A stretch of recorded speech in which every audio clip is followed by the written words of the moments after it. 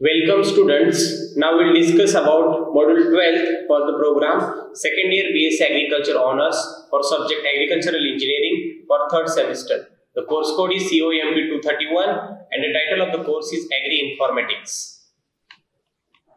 The name of the module is Database Concepts and Types Uses of DBMS oblique RDBMS in Agriculture. I am Mr. Vinod Atkari, Assistant Professor Don Bosco College of Agriculture, Sulcorna, Goa. The outline of this module is DBMS and their examples, drawbacks of file system, need of DBMS, components of DBMS, building blocks of DBMS, advantages and disadvantages of DBMS, and various application of DBMS in different fields. So at the end of this module, students will able to learn about everything about DBMS, what is database management system, their types, their advantages, their need, different components of DBMS, everything. So DBMS means database management system. We can define DBMS is a collection of data and set of programs to access and store those data in a in easy and efficient manner. So DBMS is a software which is used to manage database. For example, Microsoft Access, Oracle, MySQL, FileMaker are the example of this DBMS software which is commercially used. Then what is mean by data? Data means unprocessed information. And what is mean by information? It is data that have been organized and communicated in a meaningful manner. So we can uh, say like data will generate information, it will generate knowledge which leads to the action. So previously data is stored in the file system, but there are many drawbacks of this file system uh, data storage. So there is data uh, redundancy and inconsistency, duplication of the data in different files and multiple file format is there. Difficulty in accessing data, so needs to write a new program to carry out each new task. So data isolation problem is also there in file system. Data security problem is also there. Transaction problem from source to destination. So all these drawbacks are overcome in the database management system. So database, uh, DBMS offers solution to all these problems. So what is the need of database management system? To keep records of clients, staff, volunteers, etc. To keep records of activities and interventions and to keep sales record, to develop reports, to perform research. So, so many applications are there. So what is the DBMS here? We can just say it is a software like uh, MS Access, Oracle, MySQL and we are uh, adding an application program, maybe C, C++, Java. So end user can access, store and retrieve data with the help of this combination.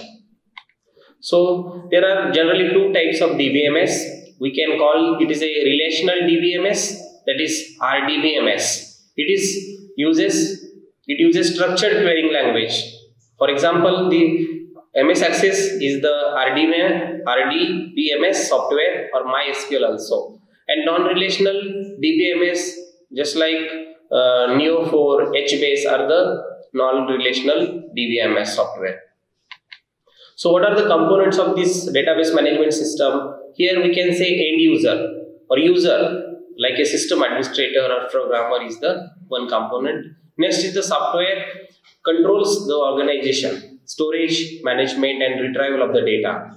Like we can say MS Access is a software, Oracle is a software, etc. Next is the hardware, PC to network of components, storage devices, input output devices are the component of this database management system. And last one is the data.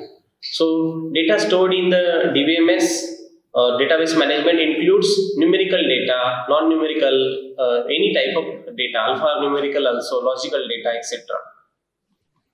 Next is the building blocks of DBMS. We can say three blocks, just like a column in a table are fields. We can say it is a fields. And row in a tables are called records or tuples. And third one is the tables. So we, we, are, we can discuss here tables in detail. Table contains data. The field component of table are First is the field. A field is the smallest data item stored in one particular format. And next is the record. A record is one complete set of related field. The data types supported by database management system are, we can put uh, numeric data like number 1, 2, 3, 4. Next is the alphanumeric, like letters or digits in combination we can put. Next data type is the date or time uh, data. Next is the logical data we can also put. Auto numbers, that is unique value we can put. So all these data types can be supported by the DBMS.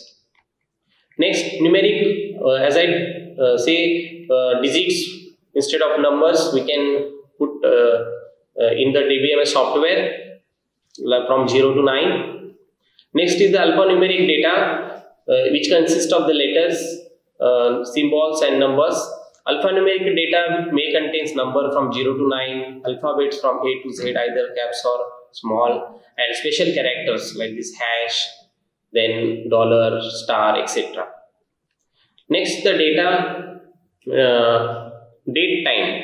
So, used to specify the field contains date or time. Then logical data like uh, yes, no, or true, false, and or like this. Next is the Auto number, a unique value generated for each record. It is also accepted by the DBMS.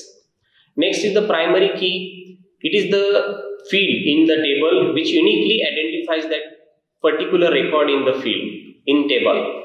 The primary key cannot have a duplicate value in the table. So it is uh, only uh, unique value you can say. Every table should have a primary key associated with it. So there are so many advantages of this database management system to control data redundancy, data sharing, enforcing integrity constraints in the data type and data uniqueness, restricting unauthorized access. So the security problem uh, is solved here. Data independence C is there. Transaction processing will be fast, providing multiple views of data, providing backup and recovery facilities also. So we can re retrieve our data wherever it is lost. Then efficient data access, then file system, reduce application development time also. So, so many advantages of this DBMS is there. So, few disadvantages of database management system are high initial investment in hardware, software and training also. Next, cost of uh, defining and processing data is more here and overhead for security, concurrency, control and recovery is the problem. So, few disadvantages are there. Next, is the application of database management system. So it is uh, used in banking for tracking the transactions. Next is the airline for reservations or scheduling the flights. Next is the in academics in universities for registration of the student, calculation of the grades and making their results it can be used. Sales also for customer product purchase in these activities they can use Next is the manufacturing in production, inventory, maintenance, orders, supply chain management also DBMS is used.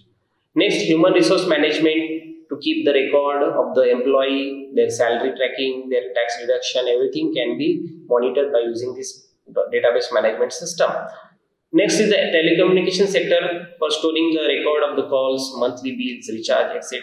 And especially in agriculture, this database management system can be used to maintain the record of crops, different different crops, their uh, inputs like fertilizer, or how much machinery is used, which machinery is uh, utilized there, livestock production.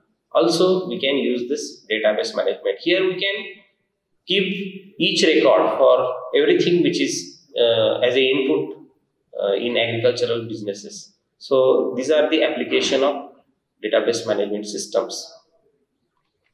So these are the references for this module. Thank you.